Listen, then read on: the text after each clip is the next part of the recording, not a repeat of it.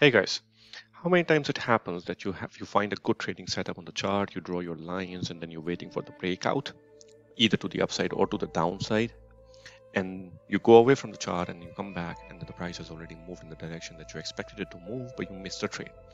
Not anymore. Now today we're going to look at why the automation is going to help a lot, and this is why automation is a good thing.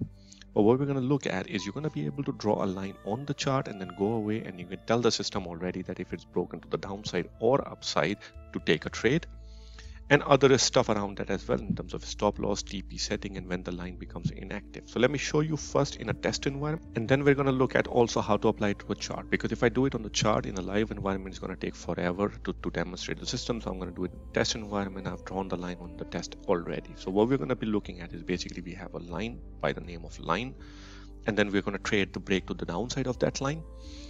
And if the if the price moves against in Uh, a thousand points, meaning 100 pips, then the line becomes inactive.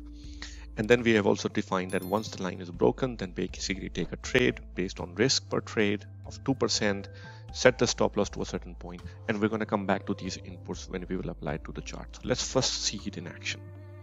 So what's going to happen is basically that you have this line and it's a green line at this point in time. And as soon as the line is broken, the system takes the trade. The other time, again, the price went up above it and then it comes down and it breaks the line again, the system takes the trade.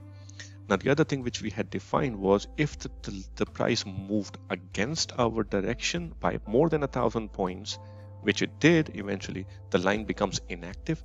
And we had already defined it here that once it becomes inactive, change the color of the line to red. You can change it to different colors and change the line style to dash dot so that we know on the chart that my line has become inactive because the price has moved massively against.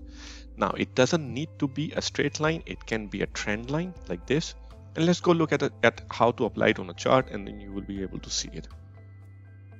Now on a live chart, the things that you need to do is once you have defined your trading setup, maybe you're interested in a trend line. So you draw a trend line the thing that you need to do is you basically go to the object list and then you go well I need to provide it a name.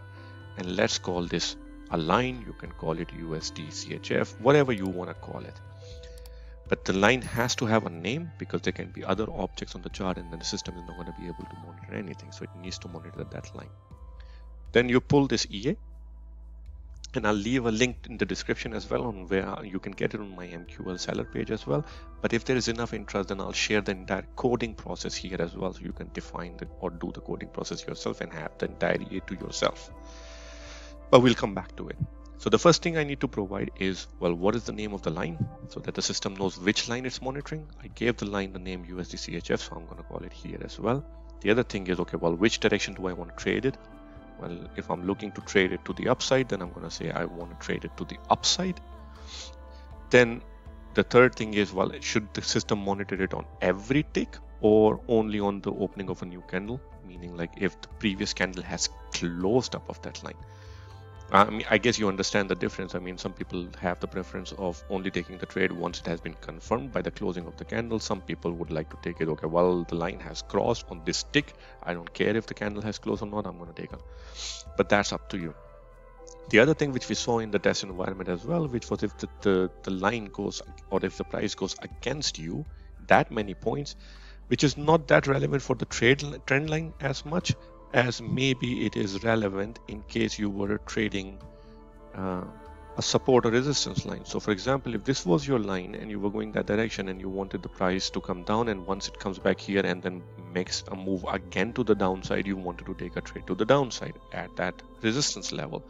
But in that case, you also want to define that once the price has gone above by certain number of pips, then you don't want to take the trade anymore. So the system should stop monitoring, the line should become invalid. That's just a way of avoiding a situation that the price comes here, breaks your line, goes up massively, and now it has become an uptrend and you don't want to take the trade anymore. So this is what you can also define here saying, well, how many points in will make the, the, the, the price invalid. Once this, once you have provided these conditions, which is, well, how many points to become invalid. In that case, well, what is the color that you want the line to become? It could be any color you want. And then to change the line style as well, just to see on the chart I mean, in one glance that my line has become inactive.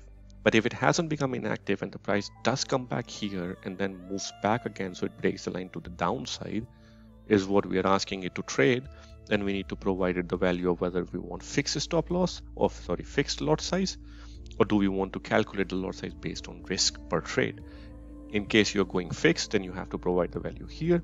If you're going for the risk per trade, then you have to say how much risk on the capital do you want to take. Then you need to define the stop loss where the stop loss should be. If you leave it at zero, then the system is not going to set any stop loss. But in that case, it cannot use the risk per trade setting because in order to calculate the risk or um, the lot size, it needs to know what the stop loss is. And if there is no stop loss, then the system cannot calculate it. In that case, it will just revert back to the minimum value on that symbol. Then we can define whether or not we want fixed, fixed take profit or do we want a risk to reward ratio. If you want fixed, then you can define it here. And if you want the risk to reward ratio, then you can define it here, 1 to 1.5 or something like that. And then just a unique number so that the system can identify that this is my EA. The key thing here again is that you have to have the right name of the line here because the system is going to monitor whatever you put here.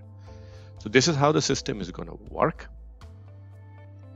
The line can be a straight line, the line can be a trend line, it doesn't really matter. It just matters on you draw the line, you give it the right name, then you go into the system and you give it the right name, tell the system which line to look at, and then which direction to trade it. To trade it to the upside or to trade it to the downside. And then you can go away. As long as the system is on, it's going to be monitoring as soon as the price breaks to the upside. In this case, for example, as soon as it's going to break to the upside, the system is going to take the trade. It's going to set the stop loss to whatever you define. It's going to set the TP to whatever you define. It's going to uh, take the trade based on the lot size that you define. So you will never miss that trade again. And as a precaution, we are also setting up when the price line becomes inactive, which is not so true in case of a trend line. You might not want to do it, but in case of a support and resistance, you don't want the price to break your resistance level to the upside 500 points and then come back and then you still end up taking the trade because it's not a resistance anymore it actually becomes a support line then. So this is it. Guys um leave a comment leave a like if you like this video.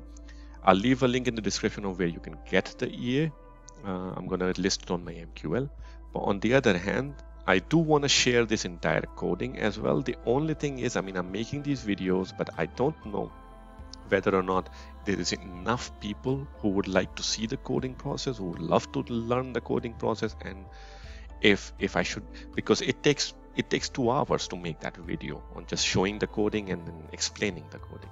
So if there are more than 50 likes and more than 10 comments below asking for me to make the video to actually show this i can show the code here. Well here it is. You can pause the video and look at it and then code it but on the other hand, if you would like me to explain the entire coding process, then leave a comment and hit the like button. If there are more than 50 likes, if there are more than 10 comments asking for me to make that video, I'll make the video and I'll link, I'll give a link in the in the end screens and I'll leave a link in the description as well to the new video so that you can then also understand how this entire coding was done. So this is it for today, guys.